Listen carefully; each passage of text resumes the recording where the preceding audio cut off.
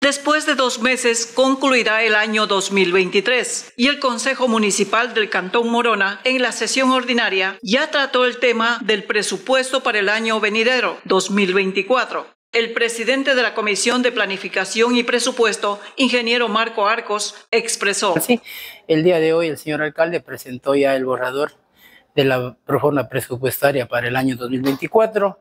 Sí, es un trabajo que lo ha hecho él con las diferentes direcciones en base a las necesidades que tiene eh, el Cantón Morón. Asimismo, la semana pasada se aprobó también en la sesión eh, cantonal del presupuesto participativo para las diferentes comunidades. Entonces, lo que hoy día hizo conocer el señor alcalde del presupuesto ya general para el año 2024, el cual eh, los señores concejales aprobaron que pase a la Comisión de Planificación y Presupuesto que la presido yo, con la finalidad de que se haga ya un análisis exhaustivo de la propuesta y presentar el informe de la comisión, si es que hay alguna sugerencia, algunas recomendaciones, que se le dé al alcalde con la finalidad de que este presupuesto eh, vaya lo mejormente pulido y se pueda aplicar en el año 2024. Entonces yo ya estaré convocando en los días posteriores porque tenemos creo que entre 15 a 20 días para poder hacer el análisis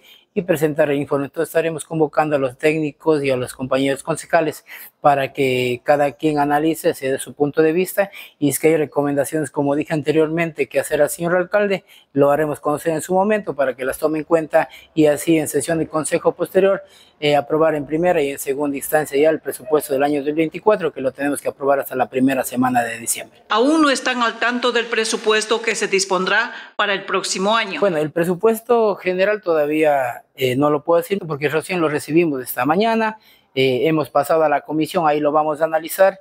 El director eh, financiero nos dará la explicación eh, exhaustiva de ingresos y gastos, un sinnúmero de cuestiones que hay también de, créditos pendientes, cuánto es lo que nos queda en gasto corriente y en gasto de inversión, con la finalidad de que nosotros ya tengamos conocimiento. Posteriormente a esto le podemos dar ya un detalle a detalle eh, cómo se queda armado el presupuesto del año 2024. No obstante, el presupuesto se invertiría en estas prioridades, según el concejal. De acuerdo al alcalde y a la administración y lo que ha conversado con los señores concejales, para nosotros es prioridad eh, saneamiento ambiental, agua potable y alcantarillado. A eso es lo que está enfocado eh, y hay otras cuestiones que nos eh, hemos comprometido también eh, en la ciudad de Macas y en las diferentes comunidades.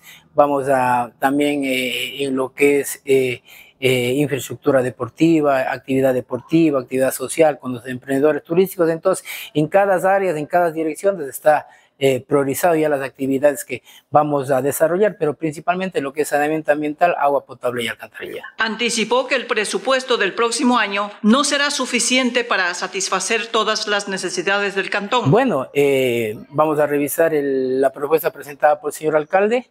Eh, consideramos que deben plasmarse las necesidades prioritarias de, de nuestros diferentes sectores y, y quiere decir a la comunidad que eh, de pronto este año no va a avanzar para solucionar, solucionar todos los problemas, pero el presupuesto va a ir encaminado en lo que la gente nos ha dicho diariamente en lo que hemos estado caminando en los barrios de la ciudad de Macas y en las comunidades. La gente también está enfocada en la misma línea nuestra, que es saneamiento ambiental, agua potable y alcantarillado, y que esté tranquila, que si no avanzamos a llegar con obra de este año, se lo hará el año siguiente, entendiendo las comunidades.